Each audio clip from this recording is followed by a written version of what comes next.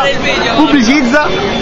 In vendita la special edition di Tekken Tag uscito da poco con contiene Lo sa di questa cosa. È per, è per 360? Ah, perché quelli da 360 le escludono?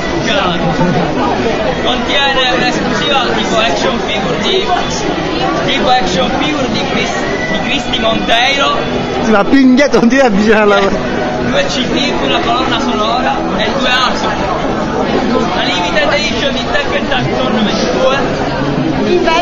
vendita? a 160 euro è un prezzo ragionevole.